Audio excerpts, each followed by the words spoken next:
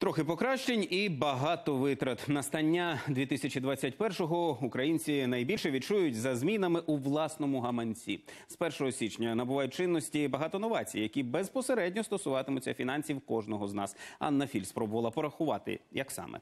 Результат далі.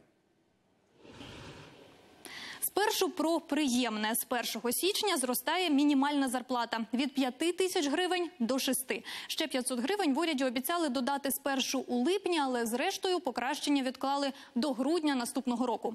І разом із мінімалкою трохи зростуть і пенсії. Але при цьому українці не лише отримуватимуть більше, а й витрачатимуть. З січня подорожчають платіжки за комуналку. По-перше, тепло і гаряча вода.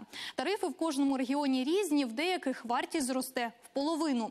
Блакитне паливо теж підскочить в ціні. Нафтогаз встановив вартість 7 гривень 22 копійки за кубометр. Це на 14% більше ніж тепер. Деякі постачальники проситимуть і по 10-11 гривень за куб. А окремо треба заплатити ще й за доставку газу. І в середньому послуга коштуватиме 2 гривні за кубометр. Це на 40% більше ніж цьогоріч.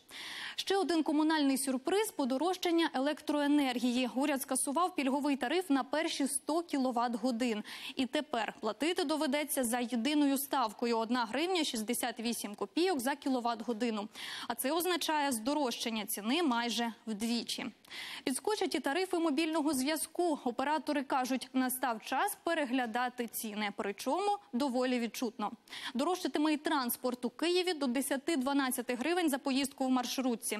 Зараз вартість квитка 8 гривень. І по всій країні проїзд теж здорожчає на 2-3 гривні. Причина по перевізниках боляче вдарив карантин.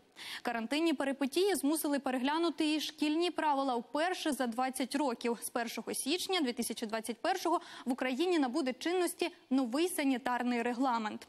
Зокрема, працівники шкіл повинні проходити профілактичні медогляди, інакше їх не допустять до роботи. Жодних туалетів на вулиці, лише в приміщенні. І також у школах дозволили встановити Wi-Fi. А учнів, яким на навчання треба добиратися більш як 2 кілометри, потрібно забезпечити транспортом.